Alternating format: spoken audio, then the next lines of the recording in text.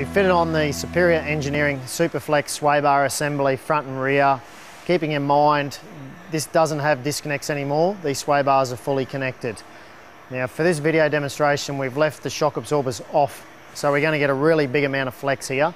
Normally you wouldn't do this, you'd have actually shock absorbers in. So we're just gonna do this to show you really how much you're gonna get out of this in flex.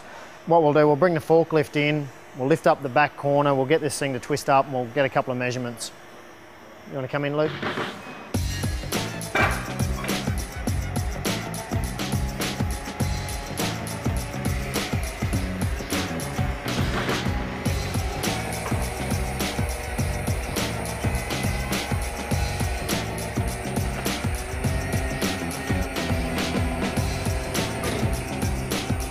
Big arm. That it? Go down a bit. Up. Okay, so we've got it up to the height where the wheel was almost off the ground. So we're at 1550 there now, it's getting up there.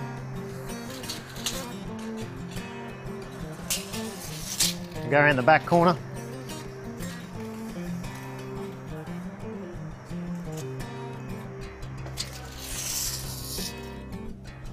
If you can come around here and just have a look at this sway bar, you'll get a bit more of an understanding of what we're talking about before. As you can see now, that sway bar, because it's so long, it's a lot more horizontal. It's basically almost following the same angle as a lower control arm, whereas a factory sway bar would have been up like that. With no shock absorbers, the sway bar would have been basically going almost straight up and down, and that would have really been limiting the down travel. So you can see it's a huge difference.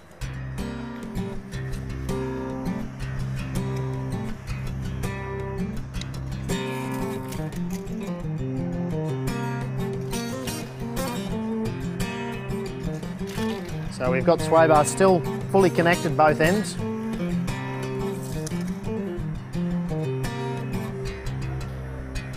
Okay, so I've got my measurements. What I'll do now, I'll go inside, we'll put these measurements into the computer, we'll pull up the graph and then we'll go in and have a look. Do you want to bring that down? Just before we're going to put this car down, I thought we'd show the, the viewers a big benefit with these sort of sway bars. If you can get that on camera there, you'd notice these sway bars, because they're, they're a lot longer here now, they're actually hardly twisting.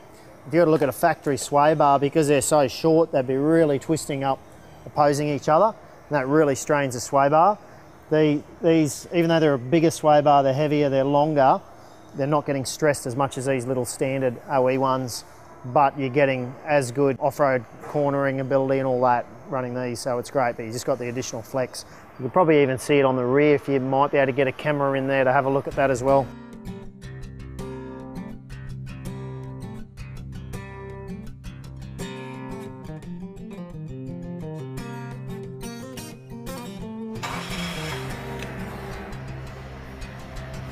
Okay, so we've done a graph up for the viewers to have a look, so we'll go in now and we'll have a look at that.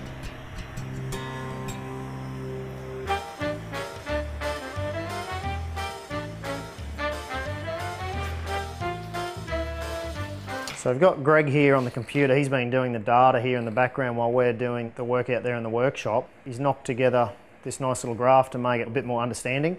So what we've basically got on the front, we've got OE sway bars when they were fitted. Greg showing the front flex, the rear flex, and then the total flex front and rear. So as you can see, he's basically plotted those in to give you a starting point. And obviously the one that you would expect the most, which is green. Single super flex arm, no sway bars, and you expect that's where it's got to be the maximum flex, and that's what it is. And we're not trying to dis dispute that in any way. We're just trying to show that a series of different things you can do will give you a different amount of flex. So what we're showing here is you can fit a Superior Engineering Superflex sway bar assembly on it and just be a little bit behind in flex, but you can have great road manners. If you want any more information on these great products, jump on 4Wheel Drive TV's website for more information.